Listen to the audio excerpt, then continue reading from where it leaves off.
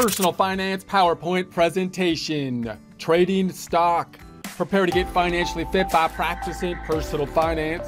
Most of this information can be found at Investopedia, the basics of trading a stock, know your orders, which you can find online. Take a look at the references, resources, continue your research from there. This by Jean Folger, updated May 30th, 2022. Man, I want some coffee.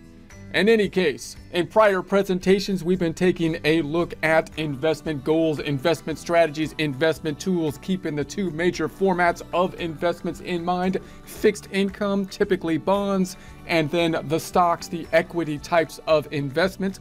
We're leaning towards looking at the stock or equity types of investments here as we ask the question or look at the basics of trading a stock. Know your orders.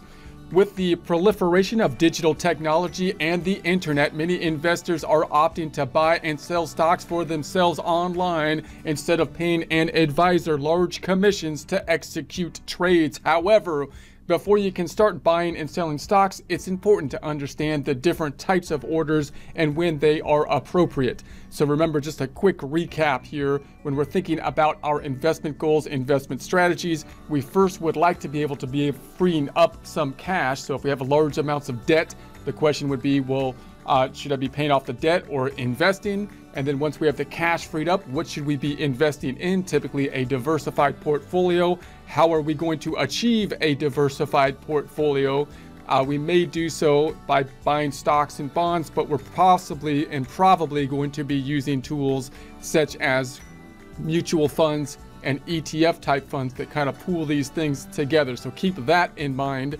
Uh, when we're talking about buying individual stocks, then that's going to be something that's uh, that has its own kind of technique. So remember, you might be using the strategy of investing in mutual funds to help diversify, and you might be looking at uh, buying individual stocks. You might try to do some of both by basically having uh, your mutual funds and possibly having some money set aside that you would like to just be uh, picking uh, stocks possibly in part for enjoyment purposes to, to be picking individual stocks and doing some trading, keeping in mind the risks involved. Okay. However, before, before you can start buying and selling stocks, it's important to understand the different types of orders and when they are appropriate. And this article, we'll cover the basic types of stock orders and how they complement your investing style. Market order versus limit order. The two major types of orders that every investor should know are the market order and the limit order. Market orders, where we will start here. A market order is the most basic type of trade. It is an order to buy or sell immediately at the current price. So clearly, we've talked about stocks being on the stock exchange, the idea of stocks being a kind of ownership in the corporation. The beauty of them is that they are, are standard units of ownership, and therefore, due to the market trading stocks, we can basically price the stocks or know what the market price is, helping us to set the price and, and make the trades. And so here we're talking about an order to buy or sell immediately at the current price, what the stock is currently trading for. Typically, if you are going to buy a stock, then you will pay a price at or near the posted ask. If you are going to sell a stock, you will receive a price uh, at or near the posted bid. One important thing to remember is that the last traded price is not necessarily the price at which the market order will be executed. In fast moving and volatile markets, the price at which you actually execute or fill the trade can deviate from the last traded price.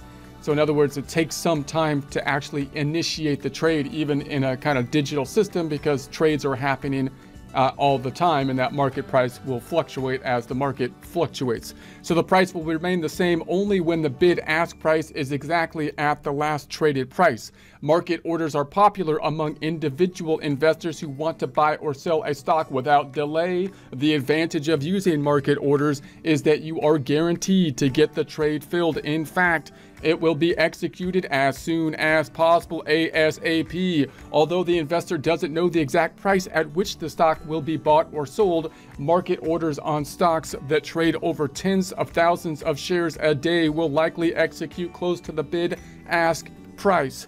So then we have the limit order. So now we're putting as the name uh, implies, some limits on the order. A limit order, sometimes referred to as a pending order, allows investors to buy and sell securities at a certain price in the future. This type of order is used to execute a trade if the price reaches the predefined level. So now looking at, at a price, you know, hitting a level, uh, the order will not be filled if the price does not reach this level. In effect, a limit order sets the maximum or minimum price at which you are willing to buy or sell. So, for example, if you wanted to buy a stock at $10, you could enter a limit order for this amount. This means you would not pay one cent over $10 for that particular stock. However, it is still possible that you could buy it for less than $10 uh, per share specified in the order.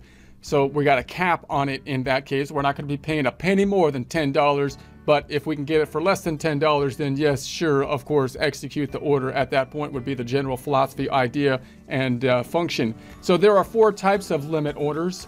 We got the buy limit. In order to purchase a security at or below a specific price, limit orders must be placed on the correct side of the market to ensure they will accomplish the task of improving the price.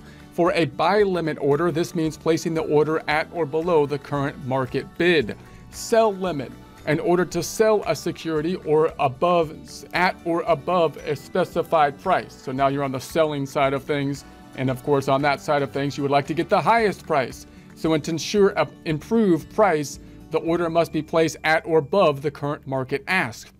Buy stop in order to buy a security at a price above the current market bid. A stop order to buy uh, becomes active only after a specified price level has been reached, known as the stop level.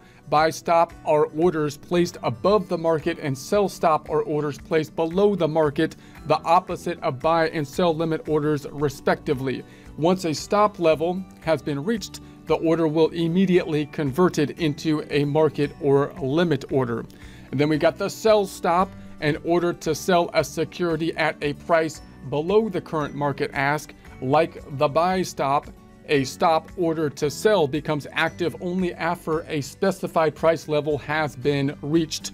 market and limit order costs. When deciding between a market or limit order, investors should be aware of the added costs. So always got to be keeping in mind those costs. Typically, the commissions are cheaper for market orders than for limit orders. So obviously, the, the market order where you're just going to basically execute the order as soon as possible, what you would think would be the cheapest type of thing to do when you start putting in complications like limits and so on, that could add a bit to the cost.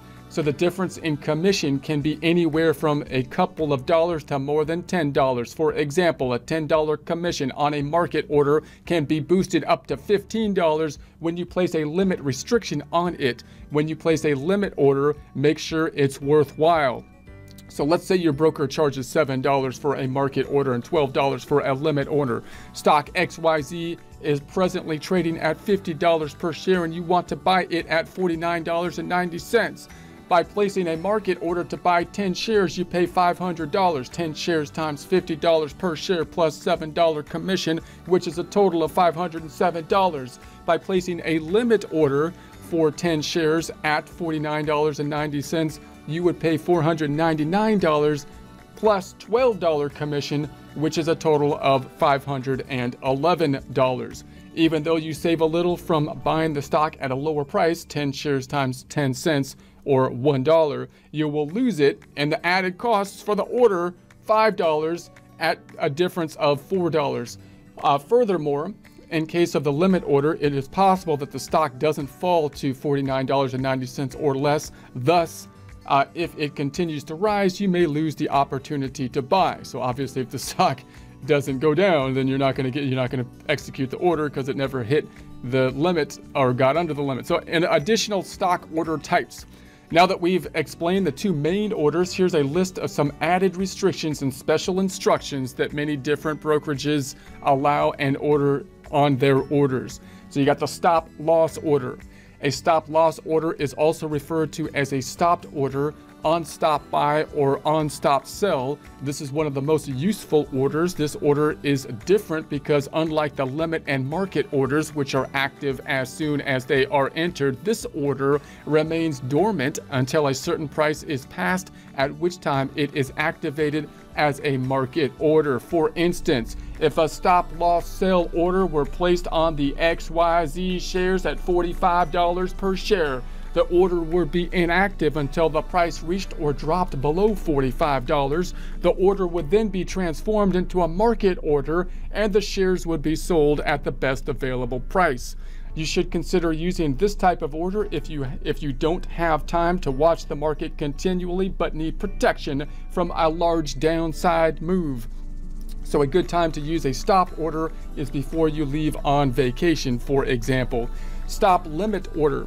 These are similar to stop loss orders, but as their name states, there is a limit on the price at which they will execute.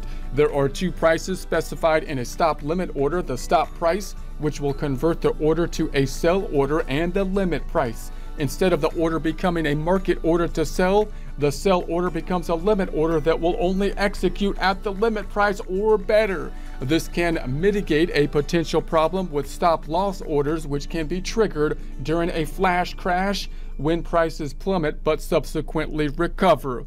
All or none, that's the AON. This type of order is especially important for those who buy penny stocks. So those are the ones that aren't, you know, on the typical exchanges over the counter. So an all or none order ensures that you get either the entire quantity of stock you requested or none at all. This is typically problematic when a stock is very illiquid or a limit is placed on the order. For example, if you put in an order to buy 2,000 shares of XYZ, but only 1,000 shares are being sold, an all or none restriction means your order will not be filled until there are at least 2,000 shares available at your preferred price. If you don't place an all or none restriction, your 2,000 shares order would be per, are partially filled for 1,000 shares. So we got the immediate or cancel, the IOC. An immediate or cancel IOC order mandates that whenever amount of an order that can be executed in the market or at a limit in a very short time span, often just a few seconds or less, be filled, then the rest of the order canceled. If no shares are traded in that quote immediate end quote interval, then the order is canceled completely.